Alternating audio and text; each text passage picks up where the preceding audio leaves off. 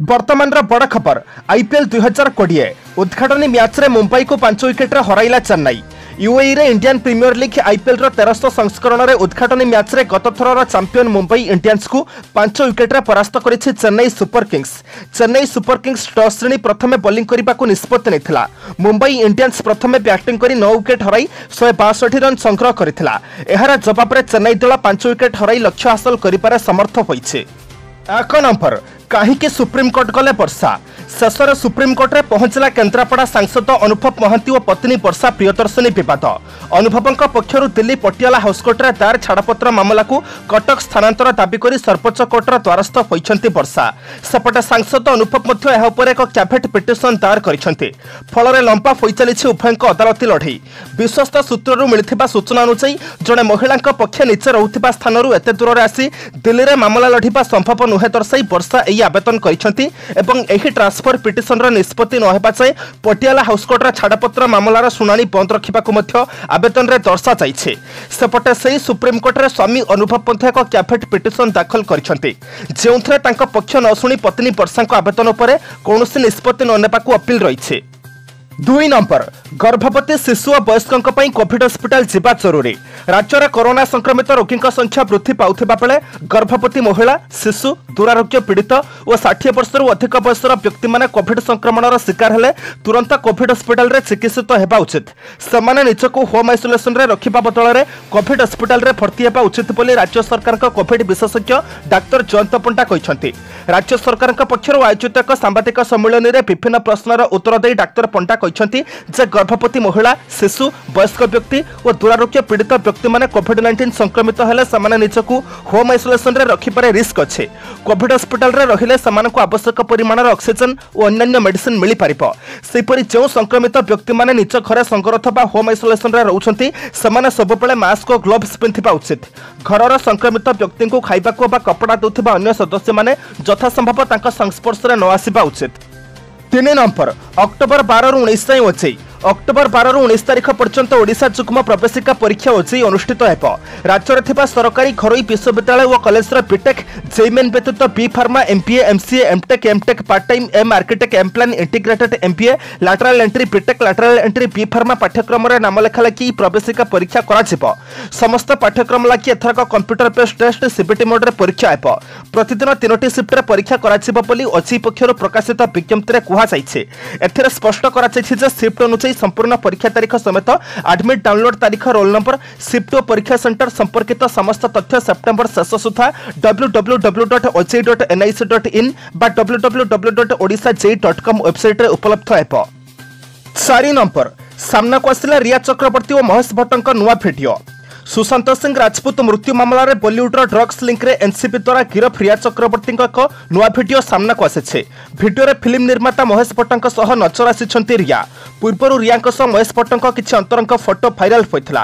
Social ମିଡିଆରେ ସେହି ଫଟୋକୁ ନେଇ ଉଭୟଙ୍କ ଚରିତ୍ରକୁ ଭିନ୍ନ ଢଙ୍ଗରେ ଚିତ୍ରଣ କରାଯାଇଥିବା ବେଳେ ଏବେ ସାମ୍ନାକୁ ଆସିଛି ଚର୍ଚ୍ଚିତ ଭିଡିଓ। ହ୍ୱାଟ୍ସଆପ୍ ଚାଟ୍କୁ ନେଇ ଛଡ଼ ଥମିନଥିବା ବେଳେ ଏବେ ପ୍ରଥମ ଥର ପାଇଁ ରିୟା ଓ ମହେଶ ଭଟ୍ଟଙ୍କ ଭିଡିଓ ସାମ୍ନାକୁ ଆସିଛି। ଭିଡିଓରେ ଦେଖାଯାଉଛି ଗୋଟିଏ ରୁମ୍ରେ କେବଳ ମହେଶ ଭଟ୍ଟ ଓ ରିୟା ଅଛନ୍ତି। ଏକ କାଉଚରେ ସାମ୍ନାସାମ୍ନି ବସିଛନ୍ତି ରିୟା ଓ ମହେଶ ଭଟ୍ଟ। ଏଥିରେ ମହେଶ ଭଟ୍ଟ ଏକ ବହିକୁ ପଢୁଛନ୍ତି ଓ ଜଣେ ଅନୁଶାସିତ ଛାତ୍ରୀ ଭଳି ରିୟା ଶୁଣୁଛନ୍ତି।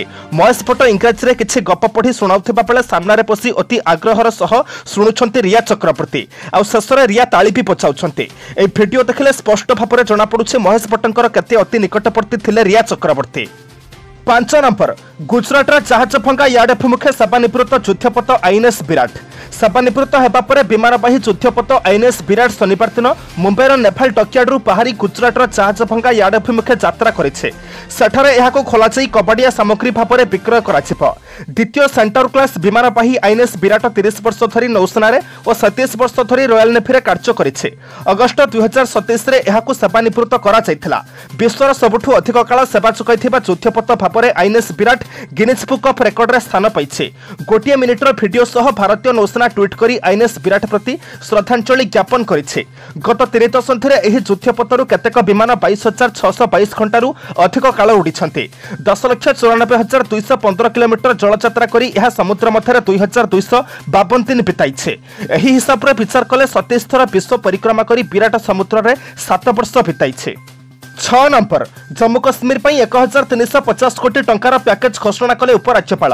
ବିଦ୍ୟୁତ ଜଳ ଉପରେ ପଚାଶ ପ୍ରତିଶତ ରିହାତି। ଜମ୍ମୁ କାଶ୍ମୀରର ଉପରାଜ୍ୟପାଳ ହେବା ପରେ ମନୋଜ ସିହ୍ନା ଆଜି କୋଟି କୋଟି ଟଙ୍କାର ପ୍ୟାକେଜ ଘୋଷଣା କରିଛନ୍ତି। ସଙ୍କଟର ସମ୍ମୁଖୀନ ହେଉଥିବା ଜମ୍ମୁ କାଶ୍ମୀରର ବ୍ୟବସାୟୀଙ୍କ ପାଇଁ ସେ ଏକ ହଜାର ତିନିଶହ ପଚାଶ କୋଟି ଟଙ୍କାର ଅର୍ଥନୈତିକ ପ୍ୟାକେଜ ଘୋଷଣା କରିଛନ୍ତି। ଏହା ବ୍ୟତୀତ କେନ୍ଦ୍ରଶାସିତ ଅଞ୍ଚଳ ପାଇଁ ଜଳ ଏବଂ ବିଦ୍ୟୁତ ବିଲ୍ରେ ଏକ ବର୍ଷ ପାଇଁ ପଚାଶ ପ୍ରତିଶତ ଛାଡ଼ ପାଇଁ ଘୋଷଣା କରାଯାଇଛି। ଏହି ଘୋଷଣା କରି ମନୋଜ ସିହ୍ନା କହିଛନ୍ତି ଯେ ଆର୍ଥିକ ଅସୁବିଧାର ସମ୍ମୁଖୀନ ହେଉଥିବା ରାଜ୍ୟବାସୀଙ୍କ ପାଇଁ ଏକ ହଜାର ତିନିଶହ ପଚାଶ କୋଟି ଟଙ୍କାର ଅର୍ଥନୈତିକ ପ୍ୟାକେଜ ଘୋଷଣା କରି ମୁଁ ଖୁସି। ଏହା ଆତ୍ମନିର୍ଭରଶୀଳ ଭାରତ ଅଭିଯାନକୁ ଆଗକୁ ବଢ଼ାଇବ। ଉପରାଜ୍ୟପାଳ ମନୋଜ ସିହ୍ନା ଏକ ବର୍ଷ ପାଇଁ ବିଦ୍ୟୁତ ଏବଂ ଜଳ ବିଲ୍ ଉପରେ ପଚାଶ ପ୍ରତିଶତ ରିହାତି ଘୋଷଣା କରିଛନ୍ତି। ଜମ୍ମୁ କାଶ୍ମୀର ବାସିନ୍ଦାଙ୍କୁ ବିଦ୍ୟୁତ ଏବଂ ଜଳ ବିଲ୍କୁ ଗୋଟିଏ ବର୍ଷ ପାଇଁ ପଚାଶ ପ୍ରତିଶତ ରିହାତି ଦିଆଯିବ। ସାତ ନମ୍ବର ମିଲିଟାରୀ କ୍ୟାଣ୍ଟିନ୍ରେ କେବଳ ମେଡ୍ ଇନ୍ ଇଣ୍ଡିଆ ଉତ୍ପାଦ ବିକ୍ରି ଲାଗି ଏପର୍ଯ୍ୟନ୍ତ ନିଷ୍ପତ୍ତି ନିଆଯାଇ ନାହିଁ। କେନ୍ଦ୍ର ସରକାର ସମଗ୍ର ଦେଶରେ ପ୍ରତିରକ୍ଷା ମନ୍ତ୍ରଣାଳୟ ଦ୍ୱାରା ପରିଚାଳିତ ମିଲିଟାରୀ କ୍ୟାଣ୍ଟିନ୍ରେ କେବଳ ମେଡ୍ ଇନ୍ ଇଣ୍ଡିଆ ସାମଗ୍ରୀ ବିକ୍ରୟ ନିମନ୍ତେ ଏଯାବତ୍ ନିଷ୍ପତ୍ତି ହୋଇନଥିବା କଥା ଶନିବାର ଦିନ କେନ୍ଦ୍ର ସରକାର କହିଛନ୍ତି। ରାଜ୍ୟସଭାରେ ପ୍ରତିରକ୍ଷା ରାଷ୍ଟ୍ରମନ୍ତ୍ରୀ ଶ୍ରୀପଦ ନାଇକ କହିଛନ୍ତି ଯେ ଏ ସଂକ୍ରାନ୍ତରେ କୌଣସି ନିଷ୍ପତ୍ତି ଗ୍ରହଣ କରାଯାଇ ନାହିଁ। ପ୍ରଧାନମନ୍ତ୍ରୀ ମୋଦି ଗୁରୁତ୍ୱାରୋପ କରିଥିବା ଆତ୍ମନିର୍ଭର ଏବଂ ଫୋକାଲ୍ ଫର ଲୋକାଲକୁ ଆଧାର କରି ନିଜ ଷ୍ଟୋରମାନଙ୍କରେ କେବଳ ମେଡ୍ ଇନ୍ ଇଣ୍ଡିଆ ଉତ୍ପାଦ ବ୍ୟବହାର ଓ ବିକ୍ରୟ କରିବାକୁ ପ୍ରତିରକ୍ଷା ମନ୍ତ୍ରଣାଳୟ ବିଚାର କରୁଛି କି ନାହିଁ ପ୍ରଶ୍ନର ଉତ୍ତର ଦେଇ ନାଇକ ଏକଥା କହିଛନ୍ତି। ଉତ୍ତରରେ ନାଇକ କହିଲେ ଯେ ଦୁଇ ହଜାର ସତର ଅଠରରେ ସାମରିକ କ୍ୟାଣ୍ଟିନ୍ମାନଙ୍କର ସମୁଦାୟ କାରବାର ଥିଲା ସତର ହଜାର ଶହେ ନବେ କୋଟି ଟଙ୍କା। ଦୁଇ ହଜାର ଅଠର ଉଣେଇଶରେ ଏହା ବୃଦ୍ଧି ପାଇ ଅଠର ହଜାର ନଅଶହ ସତର କୋଟି ଟଙ୍କାରେ ପହଞ୍ଚିଥିଲା। ଦୁଇ ହଜାର ଉଣେଇଶ କୋଡ଼ିଏରେ ସମୁଦାୟ କାରବାର ସତର ହଜାର ପାଞ୍ଚଶହ ଅଠାଅଶୀ କୋଟି ଟଙ୍କାର ହୋଇଥିବା ରିପୋର୍ଟ ହୋଇଛି। ଚଳିତ ଆର୍ଥିକ ବର୍ଷରେ ଅଗଷ୍ଟ ଯାଏଁ ତିନି ହଜାର ଛଅଶହ ବୟାନବେ କୋଟି ଟଙ୍କା କାରବାର ହୋଇଥିବା ରେକର୍ଡ କରାଯାଇଛି। ଆଠ ନମ୍ବର କରୋନାରୁ ସୁସ୍ଥ ପରେ ଭାଇରାଲ ରୋଗରେ ଆକ୍ରାନ୍ତ ଆଶଙ୍କା ଅଧିକ। କରୋନାରେ ସଂକ୍ରମିତ ହେଉଥିବା ବ୍ୟକ୍ତିମାନେ ପୁଣି ଥରେ ଅନ୍ୟ କିଛି ଭାଇରାଲ ରୋଗର ଆକ୍ରାନ୍ତ ହେବାର ଆଶଙ୍କା ଅଧିକ। ତେଣୁ ଭିଟାମିନ୍ ଯୁକ୍ତ ଖାଦ୍ୟ ଖାଇ ନିଜ ଶରୀରକୁ ଫିଟ୍ ରଖିବା ଉଚିତ ବୋଲି ଡାକ୍ତର ପ୍ରଜ୍ଞାନ ରାଉତରାୟ କହିଛନ୍ତି। ରାଜ୍ୟ ସରକାରଙ୍କ ପକ୍ଷରୁ ଆୟୋଜିତ ଏକ ସାମ୍ବାଦିକ ସମ୍ମିଳନୀରେ କେୟାର ହସ୍ପିଟାଲରେ ମେଡିସିନ ବିଶେଷଜ୍ଞ ଡାକ୍ତର ରାଉତରାୟ କହିଛନ୍ତି ଯେ ଯେଉଁ ବ୍ୟକ୍ତିଙ୍କ ଶରୀରରେ ରୋଗ ପ୍ରତିରୋଧକ ଶକ୍ତି ବେଶୀ ନଥିବ ସେ ଆଉଥରେ କରୋନା ସଂକ୍ରମିତ ହେବାର ଆଶଙ୍କା ବେଶୀ। କରୋନାରୁ ସୁସ୍ଥ ହେବା ପରେ ସଂକ୍ରମିତ ବ୍ୟକ୍ତି ଅତ୍ୟନ୍ତ ଦୁର୍ବଳ ହୋଇଯାଉଥିବାର ଦେଖିବାକୁ ମିଳୁଛି। ସେମାନେ ପୁଣି ଥରେ କିଛି ନା କିଛି ଭାଇରାଲ ରୋଗର ଆକ୍ରାନ୍ତ ହେବାର ଆଶଙ୍କା ବେଶୀ ରହୁଛି। ତେଣୁ ସେମାନେ କରୋନାରୁ ସୁସ୍ଥ ହେବାର ପନ୍ଦର ଦିନ ପର୍ଯ୍ୟନ୍ତ ପର୍ଯ୍ୟାପ୍ତ ପରିମାଣର ଭିଟାମିନ୍ ଯୁକ୍ତ ଖାଦ୍ୟ ଖାଇ ନିଜ ଶରୀରକୁ ଫିଟ୍ ରଖିବା ଉଚିତ। କାରଣ କରୋନାରୁ ସୁସ୍ଥ ହେବା ପରେ ମଧ୍ୟ ସଂକ୍ରମିତ ବ୍ୟକ୍ତିଙ୍କ ଶରୀର ବ୍ୟଥା ଭୋକ ନ ହେବା ଗଳାରେ ସମସ୍ୟା ଆଦି ଲାଗି ରହୁଛି। ତେଣୁ ନିଜକୁ ଫିଟ୍ ରଖିବା ନିମନ୍ତେ ବିଭିନ୍ନ ପ୍ରକାର ପୁଷ୍ଟିକର ଖାଦ୍ୟ ସହ ଭିଟାମିନ୍ ଯୁକ୍ତ ଔଷଧ ମଧ୍ୟ ଖାଇବା ଜରୁରୀ। ନଅ ନମ୍ବର। ଆଇପିଏଲ୍ର କ୍ୟାରିୟର ଆରମ୍ଭ କଲେ ଓଡ଼ିଆ ପୁଅ। ଚଳିତ ଆଇପିଏଲ୍ରେ ଡେବ୍ୟୁ କରିଛନ୍ତି ଓଡ଼ିଆ ପୁଅ। ବରଗଡ଼ ଜିଲ୍ଲା କଣ୍ଟାପାଲିର ଅନିଲ ମେହେର ଚଳିତ ଆଇପିଏଲ୍ରେ ବ୍ରଡକାଷ୍ଟ ସ୍କୋରର ହୋଇଛନ୍ତି। ବରଗଡ଼ ଜିଲ୍ଲା ଅନିଲ ଅନ୍ତର୍ଜାତୀୟ କ୍ରିକେଟ୍ ଟୁର୍ଣ୍ଣାମେଣ୍ଟରେ ସ୍କୋରର ଭାବରେ କାମ କରି ଓଡ଼ିଶାକୁ ଗର୍ବିତ କରିବାର ସୁଯୋଗ ଆଣିଛନ୍ତି। କାଲି ଆବୁଧାବିରେ ମୁମ୍ବାଇ ଇଣ୍ଡିଆନ୍ସ ଓ ଚେନ୍ନାଇ ସୁପର କିଙ୍ଗସ୍ ମଧ୍ୟରେ ଖେଳାଯାଇଥିବା ଉଦ୍ଘାଟନୀ ମ୍ୟାଚ୍ରେ ଅନିଲ କ୍ୟାରିୟର ଆରମ୍ଭ କରିଛନ୍ତି। ଏନେଇ ଅନିଲ କହିଛନ୍ତି ଦୀର୍ଘ ବର୍ଷେ ଦୁଇ ବର୍ଷ ଧରି ମୁଁ ଚାକିରି ପାଇଁ ପ୍ରୟାସ ଚଳାଇ ଆସିଥିଲେ। ଦିଲ୍ଲୀର ଇଏଲ୍ ଗ୍ରାଫିକ୍ସ କମ୍ପାନୀରେ ମୁଁ ଚାକିରି ପାଇଛି। ମୁଁ ସେଠାରେ ଅପରେଟର ଭାବରେ ନିଯୁକ୍ତି ପାଇଛି। କିନ୍ତୁ ଏବେ ମୁଁ କେବଳ ସ୍କୋରିଂ କାମ କରୁଛି। ମୁଁ ବି ଜଣେ କ୍ରିକେଟର ହେବା ପାଇଁ ଆଶା କରିଥିଲି। ଏପରିକି ମୁଁ କ୍ରିକେଟ ମଧ୍ୟ ଖେଳିଛି। ଆଇପିଏଲ୍ ଭଳି ପ୍ଲାଟଫର୍ମରେ ଜଣେ ଖେଳାଳି ଭାବରେ ଖେଳିବା ମୋର ଇଚ୍ଛା ଥିଲା। କିନ୍ତୁ ତାହା ହୋଇପାରିଲା ନାହିଁ। ତଥାପି ଆଇପିଏଲ୍ରେ ସାମିଲ ହୋଇପାରିଥିବାରୁ ମୁଁ ବହୁତ ଖୁସି ବୋଲି କହିଛନ୍ତି ଅନିଲ। ଦଶ ନମ୍ବରକୁ ଯିବା ପୂର୍ବରୁ ଆପଣମାନଙ୍କୁ ଅନୁରୋଧ ଭିଡ଼ିଓଟିକୁ ଶେଷ ପର୍ଯ୍ୟନ୍ତ ଦେଖନ୍ତୁ। କାରଣ ଭିଡ଼ିଓର ଶେଷରେ ରହିଛି ଆଜିର ରାଶିଫଳ। କିନ୍ତୁ ତା ପୂର୍ବରୁ ଭିଡ଼ିଓଟିକୁ ଲାଇକ୍ କରିଦିଅନ୍ତୁ କାରଣ ଆପଣଙ୍କର ଗୋଟେ ଛୋଟ ଲାଇକ୍ ଆମକୁ ନୂତନ ଭିଡ଼ିଓ ବନାଇବା ପାଇଁ ପ୍ରୋତ୍ସାହିତ କରିଥାଏ। ଦଶ ନମ୍ବର ଚୀନ ଗୁପ୍ତଚରଙ୍କୁ ପ୍ରତିରକ୍ଷା ବିଭାଗର ତଥ୍ୟ ଦେଉଥିଲେ ସାମ୍ବାଦିକ ରାଜୀବ।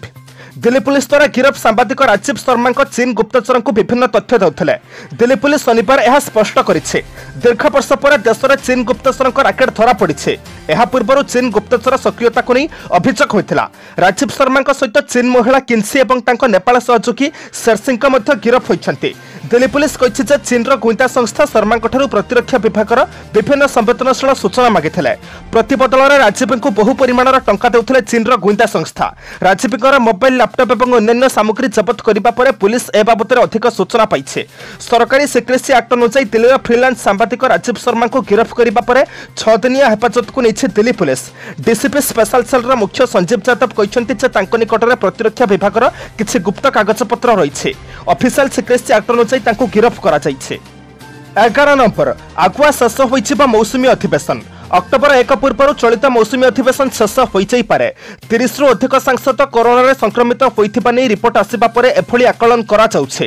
ସେପ୍ଟେମ୍ବର ଚଉଦରୁ ଆରମ୍ଭ ହୋଇଛି ଚଳିତ ମୌସୁମୀ ଅଧିବେଶନ। ମୋଟ ଅଠର ଦିନ ରହିଛି କାର୍ଯ୍ୟ ଦିବସ। ଶନିବାର ଏବଂ ରବିବାର ଛୁଟି ମଧ୍ୟ ବାତିଲ କରାଯାଇଛି। ସଂସଦର ଦୁଇ ବରିଷ୍ଠ ଅଧିକାରୀଙ୍କ କହିବା ଅନୁସାରେ ଚାଲୁଥିବା ଅଧିବେଶନର ଅବଧି ସପ୍ତାହେ କମାଇ ଦିଆଯାଇପାରେ। ପଜିଟିଭ୍ ସଂଖ୍ୟା ଅଧିକ ରହିଥିବାରୁ କାର୍ଯ୍ୟ ଦିବସକୁ କାଟଛାଟ କରିବା ପାଇଁ ଅଧିକାଂଶ ଚିନ୍ତା କରୁଛନ୍ତି ବୋଲି ଜଣାପଡ଼ିଛି। ଏହି ପ୍ରସଙ୍ଗରେ ଲୋକସଭା ବାଚସ୍ପତି ଓମ୍ ବିର୍ଲା ଆଜି ଅପରାହ୍ନ ପାଞ୍ଚଟାରେ ବ୍ୟବସାୟ ପରାମର୍ଶଦାତା କମିଟିର ଏକ ଜରୁରୀ ବୈଠକ ଡାକିଛନ୍ତି ବୋଲି ଜଣାପଡ଼ିଛି ବାର ନମ୍ବର। ବିଗ୍ ବସ୍ ସିଜନ୍ ଫୋର୍ଟିନ୍ରେ ଭାଗ ନେଇଥିବା ସମସ୍ତ ପ୍ରତିଯୋଗୀଙ୍କ ପ୍ରତି ସପ୍ତାହରେ କରାଯିବ କରୋନା ଟେଷ୍ଟ ଟିଭିର ଲୋକପ୍ରିୟ ତଥା ବିବାଦୀୟ reality show Big Boss season ଫୋର୍ଟିନ୍କୁ ନେଇ ପ୍ରତିଦିନ ନୂଆ ତଥ୍ୟ ସାମ୍ନାକୁ ଆସୁଛି। କୋଭିଡ୍ ନାଇଣ୍ଟିନ୍ ମହାମାରୀକୁ ଦୃଷ୍ଟିରେ ରଖି ଏହାର ପ୍ରଯୋଜକ ବିଗ୍ ବସ୍ ଘରେ ସ୍ୱତନ୍ତ୍ର ବ୍ୟବସ୍ଥା କରିଛନ୍ତି। ଚଳିତ ଥର ଦର୍ଶକ ଶୋରେ ପ୍ରତିଯୋଗୀଙ୍କ ମଧ୍ୟରେ କୌଣସି ଫିଜିକାଲ୍ ଟାସ୍କ ଦେଖିବାକୁ ପାଇବେ ନାହିଁ। ଏମିତିକି ପ୍ରତିଯୋଗୀମାନେ କାହା ବେଡ୍ ମଧ୍ୟ ସେୟାର କରିବେ ନାହିଁ। ପ୍ରତିଯୋଗୀ ପରସ୍ପରକୁ ନ ଛୁଇଁବା ପାଇଁ ଫିଜିକାଲ୍ ଟାସ୍କ ରଖାଯିବ ନାହିଁ। ଏଥିସହ ଘରେ କେହି ବି ଗ୍ଲାସ୍ ଓ ପ୍ଲେଟ୍ ସେୟାର ମଧ୍ୟ କରିପାରିବେ ନାହିଁ। ଏହା ବ୍ୟତୀତ ପ୍ରତିଯୋଗୀଙ୍କ କରୋନା ଟେଷ୍ଟ ପ୍ରତି ସପ୍ତାହରେ କରାଯିବ। ଏଥର ବିଗ୍ ବସ୍ ଘରେ ମିନି ଥିଏଟର ମଲ୍ ରେସ୍ତୋରାଁ ଓ ସ୍ପା ବି ରହିବ। ଏହାସହ ବିଗ୍ ବସ୍ ସିଜନ୍ ଥାର୍ଟିନ୍ରେ ବିଜେତା ସିଦ୍ଧାର୍ଥ ଶୁକ୍ଲାଙ୍କ କିଛି ଫଟୋ ମଧ୍ୟ ଭାଇରାଲ ହେଉଛି। ଏହି ଫଟୋକୁ ଦେଖି କୁହାଯାଉଛି କି ଶୋର ପ୍ରମୋ ସୁଟ୍ରେ ସେ ସାମିଲ ଅଛନ୍ତି। ସିଦ୍ଧାର୍ଥଙ୍କ ବ୍ୟତୀତ ହିନା ଖାନ୍ ଗୌହର ଖାନ୍ ଓ ମୋନାଲିସା ପ୍ରମୋ ପାଇଁ ସୁଟ୍ କରିଛନ୍ତି।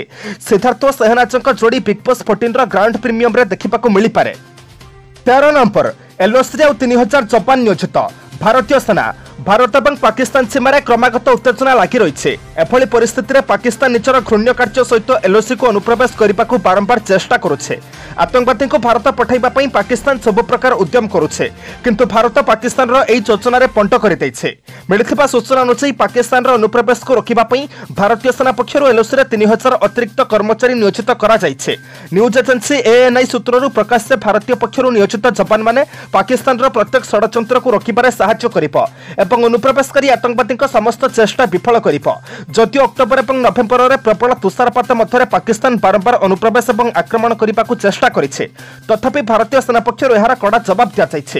ସୂଚନା ଅନୁସାରେ ଭାରତୀୟ ସେନା ଏଲ୍ଓସି ଉପରେ ଅତ୍ୟନ୍ତ ସଜାଗ ରହିଛନ୍ତି ଏବଂ ପାକିସ୍ତାନର ପ୍ରତ୍ୟେକ ପଦକ୍ଷେପ ଉପରେ ନଜର ରଖିଛି। ଭାରତୀୟ ସେନା ପ୍ରତ୍ୟେକ ଜଟିଳ ପରିସ୍ଥିତିର ମୁକାବିଲା ପାଇଁ ପ୍ରସ୍ତୁତ ଅଛନ୍ତି। ବରମୁଣ୍ଡା ବସ୍ଷ୍ଟାଣ୍ଡ ହେବ ଆନ୍ତରାଜ୍ୟ ବସ୍ ଟର୍ମିନାଲ। ବସ୍ଷ୍ଟାଣ୍ଡରୁ ଆରମ୍ଭ ଉଚ୍ଛେଦ କାର୍ଯ୍ୟ। ରାଜଧାନୀ ଭୁବନେଶ୍ୱର ବରମୁଣ୍ଡା ବସ୍ଷ୍ଟାଣ୍ଡ ଆଗକୁ ଆନ୍ତରାଜ୍ୟ ବସ୍ ଟର୍ମିନାଲ ପାଲଟିବ ନୂଆ ବସ୍ ଟର୍ମିନାଲ ପାଇଁ କାଲିଠାରୁ ବରମୁଣ୍ଡା ବସ୍ଷ୍ଟାଣ୍ଡରୁ ଉଚ୍ଛେଦ କାର୍ଯ୍ୟ ଆରମ୍ଭ ହୋଇଛି ବିଡିଏ ପକ୍ଷରୁ ଏହି ଉଚ୍ଛେଦ କାର୍ଯ୍ୟ କରାଯାଉଛି ପନ୍ଦର ଦଶମିକ ପାଞ୍ଚ ଏକର ସ୍ଥାନରେ ଆନ୍ତରାଜ୍ୟ ବସ୍ ଟର୍ମିନାଲ କରାଯିବା ନେଇ ରାଜ୍ୟ ସରକାର ନିଷ୍ପତ୍ତି ନେଇଛନ୍ତି ନୂଆ ବସ୍ ଟର୍ମିନାଲରେ ବିଦ୍ୟୁତ୍ ଶକ୍ତି ନିରବଚ୍ଛିନ୍ନ ଭାବରେ ଯୋଗାଇ ଦିଆଯିବ। ଏହା ସହ ଅଗ୍ନି ନିର୍ବାପକ ଯନ୍ତ୍ର ସହ ଫାୟାର ଆଲାର୍ମ ବ୍ୟବସ୍ଥା କରାଯିବ। ସେହିପରି solar power system internet telecom system ଭଳି ଅନ୍ୟାନ୍ୟ ସମସ୍ତ ସୁବିଧା କରାଯିବ ବୋଲି ସୂଚନା ମିଳିଛି। ଆଜି ସେପ୍ଟେମ୍ବର ମାସ କୋଡ଼ିଏ ତାରିଖ ରବିବାର ଏବେ ଆମେ ଜାଣିବା ବାରଟି ରାଶିର ସମ୍ପୂର୍ଣ୍ଣ ରାଶିଫଳ। ଏକ ନମ୍ବର ମେଷ ଦୀର୍ଘ ଦିନରୁ ଅଟକ ରହିଥିବା କାମକୁ ପୁରା ଦମରେ କରିବା ପାଇଁ ନିଷ୍ପତ୍ତି ନେଇପାରନ୍ତି। ପରିଜନଙ୍କ ସହିତ ବିଳାସ ଓ ପ୍ରାଚୁର୍ଯ୍ୟ ମଧ୍ୟରେ ସମୟ ଅତିବାହିତ ହେବ। କର୍ମକ୍ଷେତ୍ରର ବିବାଦୀୟ ଘଟଣାରେ ପାଟି ଖୋଲିବା ଠିକ୍ ହେବ ନାହିଁ। ବନ୍ଧୁଙ୍କ ସହାୟତାରେ ଆର୍ଥିକ ସମସ୍ୟାକୁ ସୁଧାରି ନେବେ। ଦୁଇ ନମ୍ବର ବୃଷ ବର୍ତ୍ତମାନର ପରିସ୍ଥିତି ବଶତଃ ପ୍ରତ୍ୟେକ କ୍ଷେତ୍ରରେ ସଂଘର୍ଷମୟ ସ୍ଥିତି ଲାଗି ରହିପାରେ। ପାରିବାରିକ କ୍ଷେତ୍ରରେ ଖର୍ଚ୍ଚ ପରିମାଣ କ୍ରମଶଃ ବୃଦ୍ଧି ପାଇବା କାରଣରୁ ବ୍ୟସ୍ତତା ମଧ୍ୟ ବଢ଼ିଯିବ।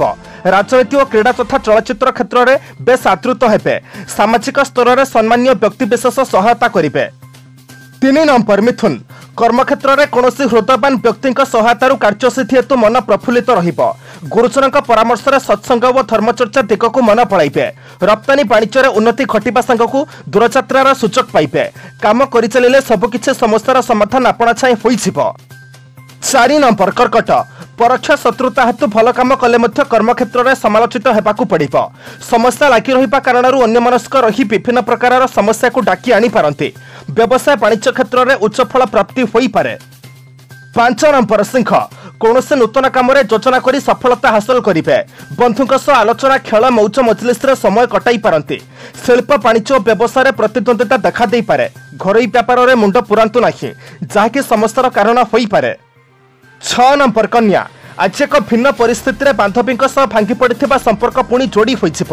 ଜଣେ ବିଶିଷ୍ଟ ବ୍ୟକ୍ତିଙ୍କ ସାହାଯ୍ୟରେ ସାମାଜିକ କ୍ଷେତ୍ରରେ ପ୍ରତିଷ୍ଠିତ ହେବେ। ଅର୍ଥ ସମ୍ପର୍କୀୟ ସମସ୍ୟା ସୁଧାରି ନେବା ସହ ବିବାଦୀୟ ଘଟଣାରେ ଚିନ୍ତିତ ରହିବେ। ଧାତୁ ଅଳଙ୍କାର କ୍ରୟ ଯୋଗ ରହିଛି। ସାତ ନମ୍ବର ତୁଳା। କୌଣସି ବନ୍ଧୁଙ୍କ କାମରେ ବ୍ୟସ୍ତତା ବଢ଼ିଯାଇପାରେ କିନ୍ତୁ କୌଣସି ଅସୁବିଧା ହେବ ନାହିଁ। ବାଣିଜ୍ୟ ପରିବହନ ଓ ବ୍ୟବସାୟ ଦିଗଟି ମନ୍ଦ ହେବ ନାହିଁ। ଆଜି ଘରୋଇ ବରାଦ ଅନୁଯାୟୀ କିଛି ମନୋରଞ୍ଜନ ଜିନିଷ କ୍ରୟ କରିବେ। ନିଜର ଆତ୍ମୀୟମାନଙ୍କ ପକ୍ଷପାତିତା କାରଣରୁ କ୍ଷୋଭ ପ୍ରକାଶ କରିବେ। ଆଠ ନମ୍ବର ବିଛା। ଖୁବ୍ କମ୍ ସମୟ ମଧ୍ୟରେ କର୍ମକ୍ଷେତ୍ରରେ ଲାଗି ରହିଥିବା ବ୍ୟସ୍ତତା ଦୂର ହୋଇଯିବ। ଅନ୍ୟମାନଙ୍କ ଦ୍ୱାରା ପ୍ରଭାବିତ ନ ହୋଇ ନିଜ ସଂସ୍କର୍ଗରୁ ଦୂରେଇ ରହିବା ଭଲ। କଳା ସାହିତ୍ୟ ସଙ୍ଗୀତ ଚଳଚ୍ଚିତ୍ର ତଥା କ୍ରୀଡ଼ା କ୍ଷେତ୍ରରେ ସଫଳତା ମିଳିପାରେ। ଅର୍ଥ ସମ୍ପର୍କକୁ କେନ୍ଦ୍ର କରି ତର୍କର ସମ୍ମୁଖୀନ ହୋଇପାରନ୍ତି। ନଅ ନମ୍ବର ଧନୁ। ଆଜି ହଠାତ୍ ସମ୍ପର୍କୀୟ ଜଣେ ବନ୍ଧୁ ସାହାଯ୍ୟର ପ୍ରତିଶ୍ରୁତି ଦେବେ। ଭ୍ରମଣ ରାଜନୀତି ପ୍ରଶାସନ ପାଇଁ ଦିନଟି ବହୁତ ଭଲ। କର୍ମକ୍ଷେତ୍ରରେ ହଠାତ୍ କୌଣସି ଖବର ପାଇ ବିସ୍ମୟ ପ୍ରକାଶ କରିପାରନ୍ତି। ଆଗାମୀ କାଲି ସକାଶେ କୌଣସି ଯୋଜନା ପ୍ରସ୍ତୁତ କରିବା ଦିଗରେ ବିଚାର ବିମର୍ଶ କରିବେ। ଦଶ ନମ୍ବର ମକର। ପାରିବାରିକ ସମସ୍ୟାର ସରଳ ସମାଧାନ ହୋଇଯିବାରୁ ମନ ହାଲୁକା ହୋଇଯିବ ସାଧାରଣ କଥାରୁ ନିକଟ ସମ୍ପର୍କୀୟମାନଙ୍କ ସହ କଳହରେ ଲିପ୍ତ ରହିପାରନ୍ତି। ଶିଳ୍ପ ବାଣିଜ୍ୟ ପରିବହନ ଓ ବ୍ୟବସାୟରେ ପ୍ରତିବନ୍ଧକ ଲାଗି ରହିବ। ଆଜିର ଫେରିବା ବାଟରେ ବନ୍ଧୁଙ୍କ ସହ ସାଧାରଣ ପଚସା ହୋଇପାରେ। ଏଗାର ନମ୍ବର କୁମ୍ଭ। ପରିବାରରେ ଘଟିଯାଇଥିବା କେତେକ ଅତୀତ ଘଟଣାକୁ ସ୍ମରଣ କରି ମନ ଭଲ ରହିନପାରେ ଶିଳ୍ପ ବାଣିଜ୍ୟ ଏବଂ କଳା ସାହିତ୍ୟରେ ଉନ୍ନତି କରି ଖୁସି ମନାଇ ପାରନ୍ତି। ଆଜିର ଯାତ୍ରା ସମୟରେ ଯାନ୍ତ୍ରିକ ତ୍ରୁଟି ସମସ୍ୟାକୁ ଦ୍ୱିଗୁଣିତ କରିପାରେ। ଗତକାଲିର ଯୋଜନା ମୁତାବକ କାର୍ଯ୍ୟରେ ସଫଳତା ପାଇବେ। ବାର ନମ୍ବର ମିନ। ବାରମ୍ବାର ଚେଷ୍ଟା କରି ମଧ୍ୟ କାର୍ଯ୍ୟହାନି କାରଣରୁ ମାନସିକ ଅସ୍ଥିରତା ଲାଗି ରହିବ। ଆଜି ଦିନଟିରେ ଯୁକ୍ତିତର୍କଠାରୁ ଦୂରେଇ ରହିବା ଭଲ। ଯାନ୍ତ୍ରିକ ତ୍ରୁଟି ଅସୁବିଧାରେ ପକାଇପାରେ ଏହା ସାଙ୍ଗକୁ ସ୍ୱାସ୍ଥ୍ୟ ପ୍ରତି ସାବଧାନ ଅବଲମ୍ବନ କରନ୍ତୁ।